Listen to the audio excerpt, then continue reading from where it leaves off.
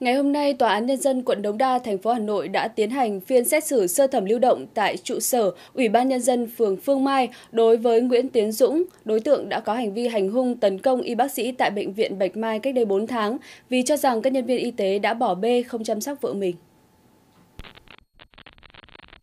Đại diện Viện Kiểm soát Nhân dân cho rằng hành vi của bị cáo là nguy hiểm đối với xã hội bởi không chỉ phá vỡ hoạt động khám chữa bệnh ở bệnh viện mà còn khiến cho các y bác sĩ hôm ấy hoang mang lo lắng nên không thể chuyên tâm vào công tác cấp cứu đối với các bệnh nhân khác.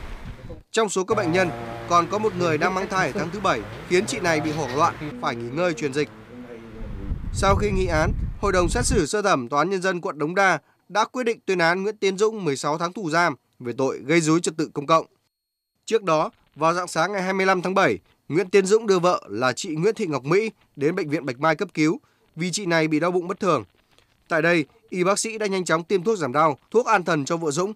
Dù chị này đã bớt đau và dần tiếp đi, song Dũng vẫn tỏ thái độ bức xúc và lớn tiếng chửi bới các nhân viên y tế.